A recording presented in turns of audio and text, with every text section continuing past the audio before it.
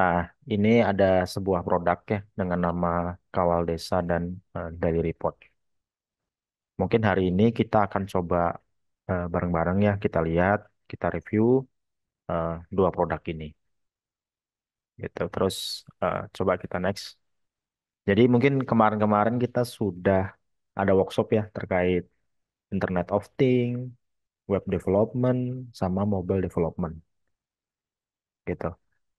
Nah, pada akhirnya eh, workshop eh, IoT, web development dan de- mobile development itu pada akhirnya nanti kita seharusnya bisa membuat sebuah produk. Itu baik di lingkungan SMK, eh, lingkungan universitas mungkin kalau ada mahasiswa maupun dalam lingkungan eh, kehidupan sehari-hari. Dengan eh, kita belajar IoT, kita belajar eh, mobile development, sama kita belajar tentang eh, website development.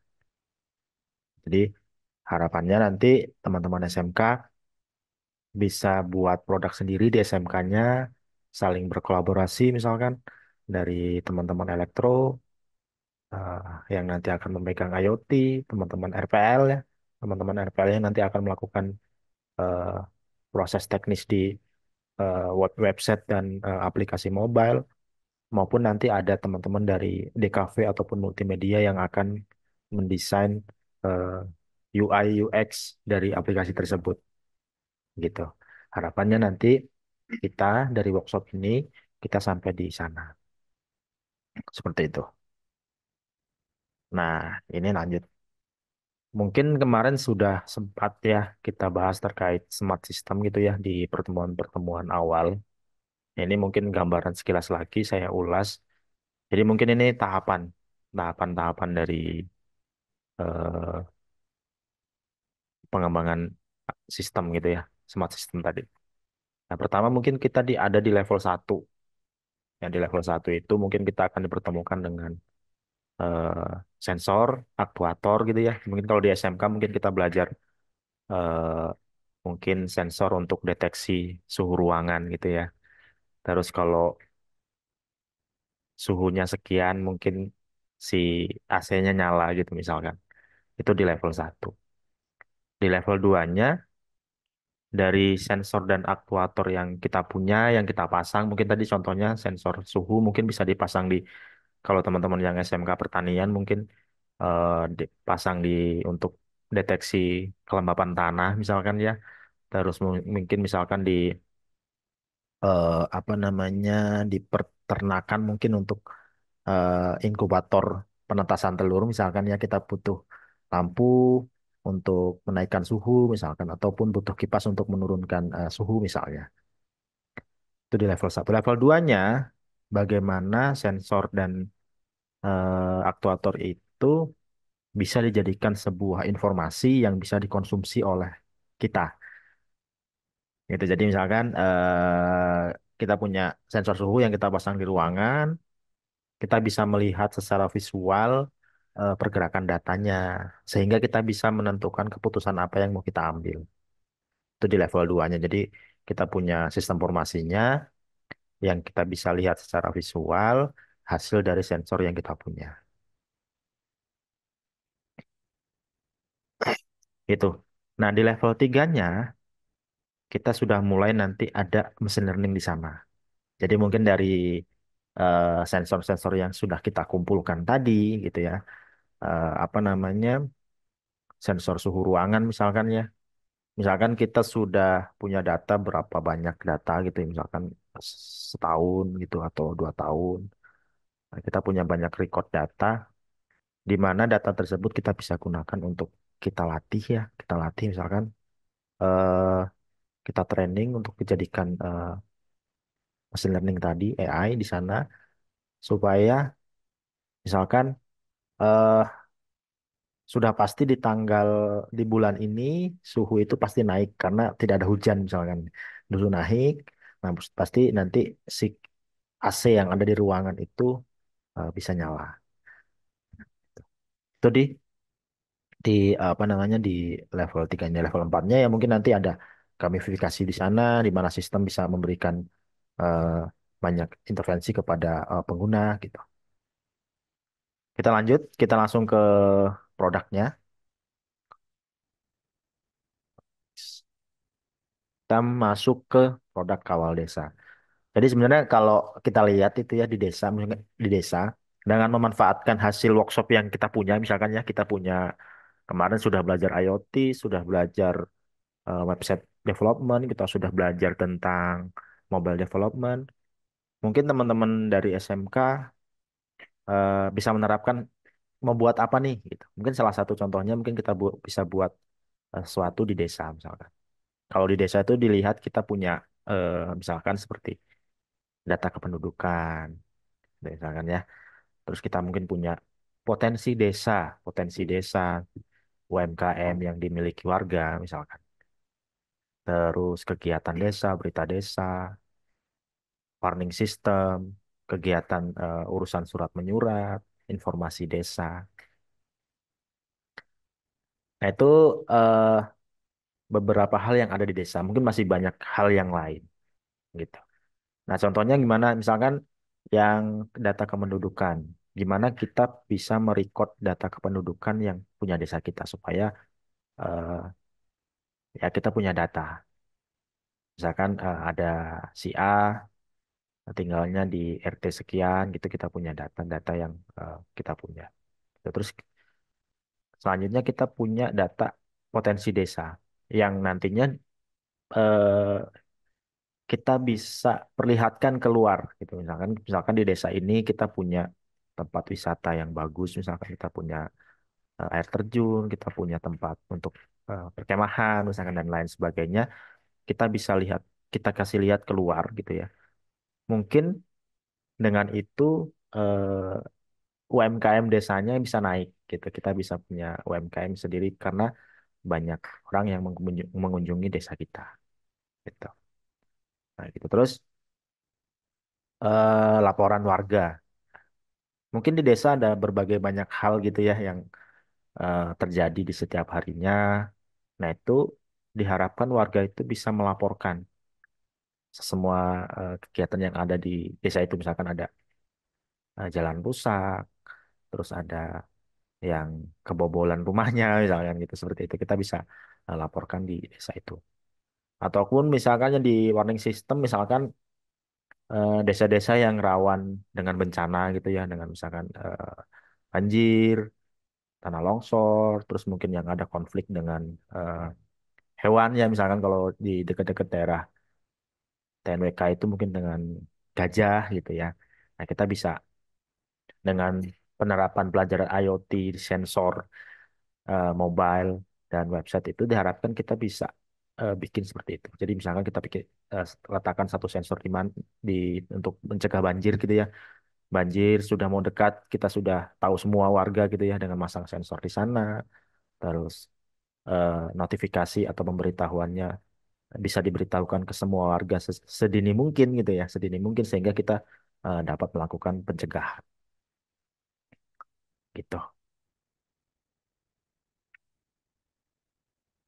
Nah, ini mungkin eh, terkait salah satu, ya mungkin beberapa bukan salah satu ya, beberapa tujuan. Jadi kalau kenapa sih kita bikin produk tadi ya, produk si kawal desanya, kenapa kita buat gitu ya? Ya tadi mungkin salah satunya dengan dengan kita menaikkan eh, potensi desa gitu ya, potensi dan UMKM desa, diharapkan eh, pengangguran dan angka kemiskinan itu dapat diturunkan gitu dengan eh, dengan adanya kawal desa ini apa namanya UMKM dan potensi desanya bisa naik diharapkan eh, angka kemiskinan dan pengangguran itu berkurang gitu. Itu, eh, salah satu tujuan. Mungkin yang lain terkait eh, kalau sarana prasarana mungkin ya tadi jadi si warga mungkin bisa melakukan report gitu ya. Ketika eh, ini rusak terus gedung ini tidak dirawat misalkan gitu ya. Supaya eh, si aparat ataupun si pihak desanya melihat itu gitu. Terus terkait lingkungan eh, kondisi lingkungannya mungkin tadi seperti eh, mungkin desa-desa yang eh, memiliki rawan rawan bencana gitu ya di sekitar desanya gitu. Oke, next. Eh, mungkin ini eh, salah satu ya, mungkin nanti teman-teman dari SMK atau teman-teman Bapak Ibu di sekolah gitu yang ingin, eh, saya ingin punya hal serupa gitu ya, buat sesuatu dengan teman-teman SMK yang mungkin melibatkan tadi teman-teman dari RPL, teman-teman dari Elektro, ataupun teman-teman dari DKV ataupun multimedia untuk membuat sesuatu di eh, lingkungan sekolahnya gitu ya. Nah, nanti bisa kalau misalkan mau coba-coba dulu nih, coba-coba dulu kawal desa, dilihat, oh seperti ini sistemnya, saya ingin kembangkan, saya ingin buat lagi yang lebih oke gitu, boleh. Nanti boleh dicoba-coba di sini. Nah, ataupun kalau misalkan nanti teman-teman SMK eh, tertarik gitu ya, ingin eh, mengembangkan dengan yang sudah ada gitu, ingin mengembangkan dengan ide kreatif yang dipunya, boleh nanti eh, kita diskusi untuk pengembangan selanjutnya mau seperti apa. Seperti itu. Nah, mungkin kalau teman-teman nantinya mau coba gitu ya, Bapak Ibu mau coba, mungkin nanti bisa pakai ini ya, pakai itu, pakai link yang ada gitu ya, teman-teman boleh register mendaftarkan desa masing-masing, desa misalkan eh, desa tempat tinggal atau desa di sekolah itu, misalkan eh, dengan masukkan email, password, nama desa, eh, domain itu nantinya dipakai untuk eh, domain desanya ya. Kita misalkan desanya nanti mau diberikan satu domain sendiri, misalkan itu bisa. Lalu nanti dimasukkan eh, provinsi, kabupaten, kecamatan, dan desanya itu eh, dimasukkan. Nah, setelah dimasukkan nanti eh, teman-teman bakal nerima email tuh, email konfirmasi eh, akun, sama nanti dapat data kode desa. Yang nantinya kode desa itu dapat dipakai untuk mendaftarkan akun warga ataupun aparat yang ada di desa itu. Gitu. Nah, lalu nanti setelah eh, akunnya sudah dikonfirmasi atau diverifikasi, nanti bisa melakukan eh, sign in ataupun login ke dalam si dashboard si eh, kawal desanya sendiri. Gitu. Nah, ini mungkin salah satu contohnya ya, contoh di dashboard di dalam ya. Jadi nantinya di dalam dashboard itu desa itu bisa melihat misalkan eh, warga desanya gitu ya. Misalkan ada beberapa warga yang oh tinggalnya di sini, oh di sini tinggalnya tempat eh, tinggal Asep misalkan, oh di sini tempat tinggal si Ica misalkan tuh. Ini tempat tinggal si eh, siapa misalkan gitu. Kita di si desa itu bisa eh, melihat itu gitu. Nah, bahkan di eh, poin menu nomor 2 dan nomor 3 itu itu ada panic button dan eh, kamera yang mungkin nanti akan dibahas di Kamis minggu depan ya. Nah, itu sebenarnya kaitannya tadi dengan IoT ya. Dengan IoT eh, kita bisa pasang kamera gitu ya atau di sisi sisi di tempat-tempat tertentu, di tempat-tempat tertentu. Jadi nanti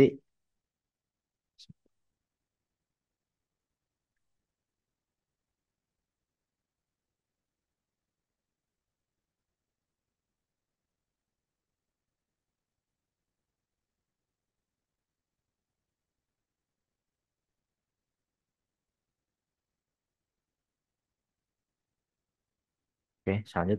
Jadi nanti eh, si warga bisa melihat gitu ya. Misalkan di eh, kita taruh di tempat yang rawan gitu ya kameranya itu bisa melihat eh, oh di situ ada kejadian misalkan. Terus misalkan kita bisa pasang eh, itu yang poin dua itu ada panic button gitu. Kita bisa pasang di desa itu di mana nanti ketika ada bahaya ataupun ada warga yang membutuhkan pertolongan itu bisa kita nyalakan gitu. Jadi nanti semua warga bisa tahu bahwasannya eh, sedang ada bahaya gitu. Nah, ini mungkin eh, menu selanjutnya tadi. Nah, ini mungkin data data kependudukan tadi ya. Jadi nanti kita punya data eh, visualisasi terkait eh, data penduduk di desa itu. Jadi kita bisa lihat perempuannya ada berapa, laki-lakinya ada berapa, total keseluruhannya ada berapa. Jadi kita punya data sendiri, eh, si desa tahu dia punya berapa warga yang ada di desa itu. Itu terus ini aset ya, aset-aset eh, desa misalkan eh, di desa itu biasanya kan ada tempat untuk ibadah, tempat umum, misalkan terus tempat bangunan-bangunan. Nah, itu kita bisa eh, masukkan ke dalam eh, aplikasi Kawal Desa ini yang nantinya harapannya si tempat-tempat umum, tempat-tempat misalkan ada musola ataupun ada masjid gitu ya. Ketika ada orang yang sedang berkunjung gitu ya, melewati desa kita, dia memerlukan informasi di mana nih eh, masjid terdekat gitu ya. Dengan adanya Kawal Desa ini mereka sudah bisa mereka bisa dapat informasi itu. Seperti itu. Lalu Nah, ini eh, presensi ya, presensi untuk aparatnya. Jadi nanti eh, dengan adanya kawal desa ini diharapkan si aparat desanya itu bisa mengatur kedisiplinannya. Gitu. Jadi ada alat atau eh, ya alat untuk melakukan presensi harian si eh, apa namanya si aparatnya untuk melatih kedisiplinan mereka. Jadi nanti desa bisa di bisa melakukan rekap absensi aparatnya gitu. Terus Nah ini, ini eh, mungkin berita desa ya. Jadi nanti dengan adanya awal desa ini, berita-berita desa yang ada gitu ya, yang ada di desa itu bisa diekspos gitu ya. Misalkan ada pembangunan masjid yang mungkin ada butuh bantuan dari luar gitu ya. Terus misalkan pembangunan musola atau pembangunan jalan yang kita bisa eh, taruh di sini, letakkan di sini gitu informasinya. Nah, terus mungkin ada laporan warga ya tadi. Eh, misalkan ada warga yang membutuhkan masuk melaporkan suatu hal, misalkan eh, di sini ada jalan rusak, terus ini rumah kosong yang sudah lama ditinggalkan warga gitu ya, kita bisa laporkan di sini terkait eh, segala hal yang ada di desa itu. Nah ini,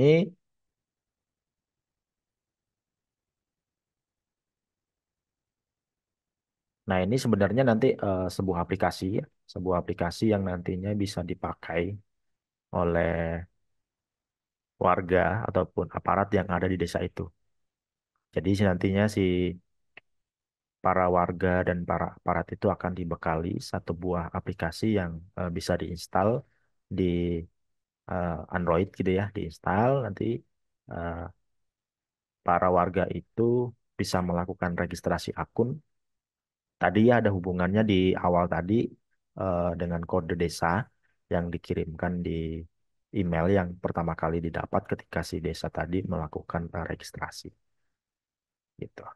Nah, ketika nanti si warga dan aparat sudah melakukan registrasi di aplikasinya, nanti dia akan eh, otomatis terdata di data kependudukan tadi. Itu jadi nanti si si desanya tidak perlu eh, harus mendata satu-satu lagi ya si warganya. Cukup disuruh install aplikasinya, mereka suruh install eh, suruh registrasi akun, nanti eh, dengan secara otomatis dia akan masuk ke data desa yang tadi.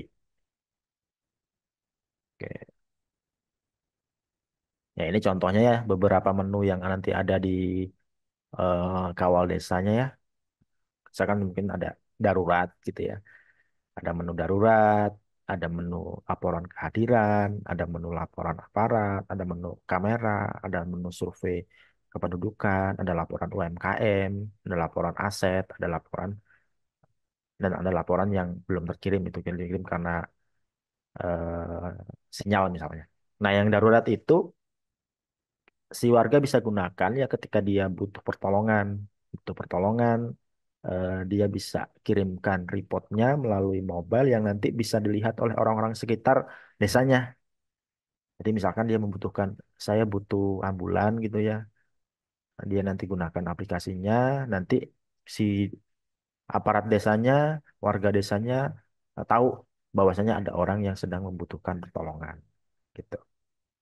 Terus ada kamera Itu nanti eh, kamera itu ah, bisa melihat nih, misalkan kita di desa itu ada beberapa titik yang kita berikan kamera gitu ya, kamera, misalkan di satpam, di pintu keluar, terus mungkin di perbatasan kita bisa kasih kamera di situ yang nantinya bisa diakses oleh semua warga untuk melihat kalau misalkan ada sesuatu hal kita bisa melakukan monitoring di eh, menu kamera itu.